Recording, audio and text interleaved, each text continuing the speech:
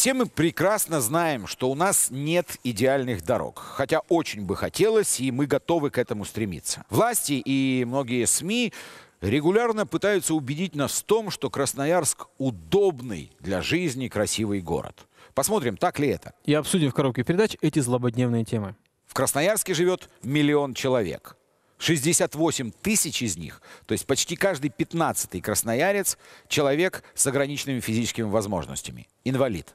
У многих из них есть автомобили. Вы наверняка помните этот значок с коляской на стекле. Эти люди ведут нормальный образ жизни, ездят по магазинам, встречаются с друзьями, ходят в кино, но это им дается в десятки раз тяжелее, чем нам. Например, почти каждый раз, подъезжая к парковке и к местам для инвалидов, они видят, что место занято и вовсе не инвалидами.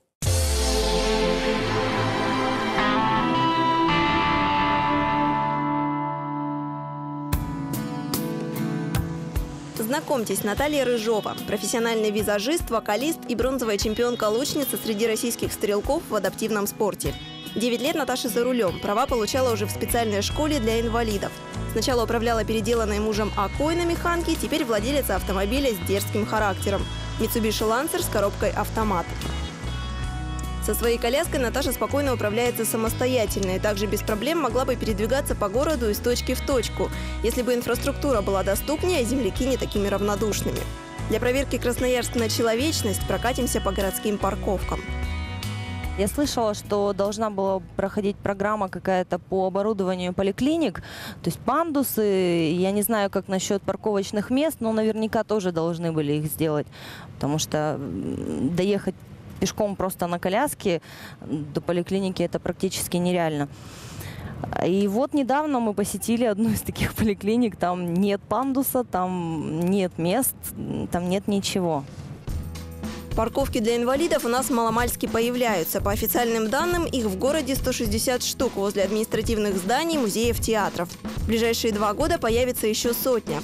Но проблема не только в том, что их мало и что они не всегда там, где хотелось бы. Там, где они есть, они всегда заняты. То есть были случаи, когда приходилось спорить с людьми, которые припаркованы на этих местах.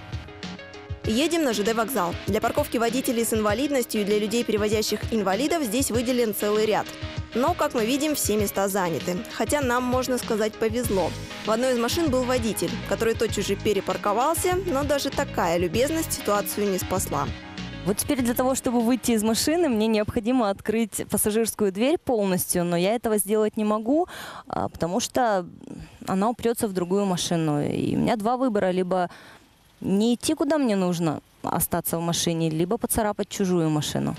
Парковки, предназначенные для инвалидов, заведомо шире обычных, потому что водителю нужно не просто выйти, но и достать, например, коляску. Кроме того, они расположены ближе к месту назначения, ведь для людей с поражением опорно-двигательного аппарата и 2 метра расстояния. А мы тем временем пробуем поискать местечко на парковке возле краевой библиотеки. Ну вот, пожалуйста. Я понимаю, что на эти три места влезло четыре машины, даже, даже пять. Но как-то от этого не легче. Не легче и возле театра, оперы и балета. Вот, пожалуйста, это третья попытка припарковаться в специально отведенном месте. Несмотря на то, что здесь стоят знаки, на асфальте есть специальная разметка, три места для инвалидов заняли пять других водителей на обычных автомобилях.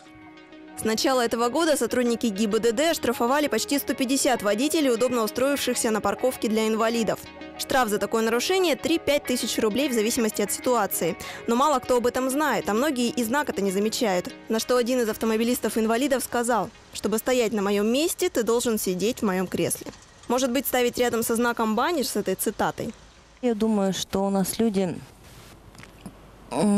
просто настолько не привыкли видеть э, людей на коляске в городе, что они просто об этом не думают. Подумайте, Красноярск – город для людей, причем для всех.